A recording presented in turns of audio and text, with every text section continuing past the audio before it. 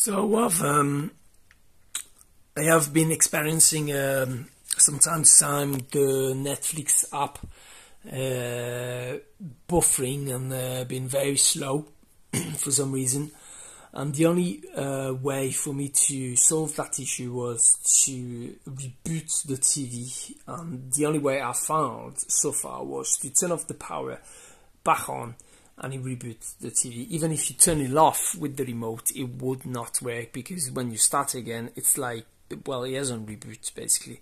Um, but because the the socket and the TV is quite wild, it's not accessible. It was um, it was quite annoying. But I found a way to reboot the system with the remote. So firstly, you need to turn on the TV and do not stay on any app or the smart um, page with all the apps. It will not work.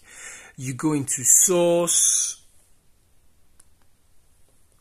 and you choose any source. Um, okay. So now you need to press the combination code zero six two five nine six. Okay. It didn't work. Let me try again.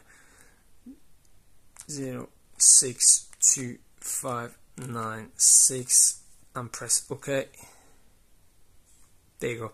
So I, um, I did notice that you've got to um, press the sequence at a regular kind of pace uh, for it to, to be taken into account. Um, now basically you will access the service menu.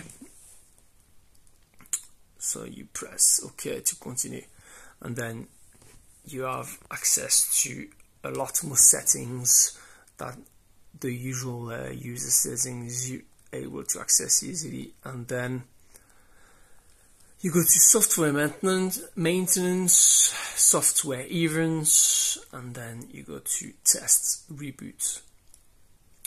Press OK, and it restarts your Android system.